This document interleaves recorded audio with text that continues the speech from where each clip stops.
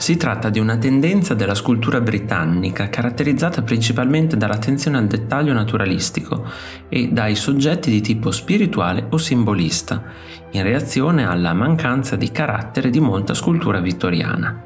Il nome fu coniato dal critico Edwin Goss in una serie di quattro articoli pubblicati sull'Art Journal. I protagonisti principali del movimento furono Gilbert Bass, Alfred Drury, Edward Onslow Ford, George Frampton, Alfred Gilbert, l'australiano Bertram McKinnell, William Reynolds Stephens, Amo Thornycroft, Albert Toft e Derwent Wood. La New Sculpture fu operativa tra il 1880 e il 1910.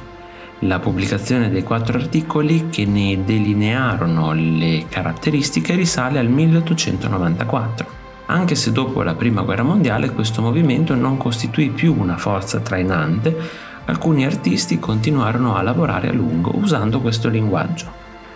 Questa tendenza si sviluppò in Inghilterra. La loro opera archetipica consisteva della figura ideale eretta, spesso tratta da un immaginario mitologico o poetico.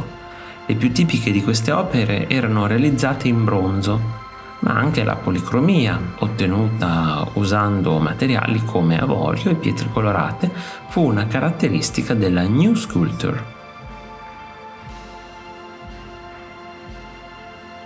Se ti è piaciuto il video iscriviti al canale, lascia like e condividilo con i tuoi amici.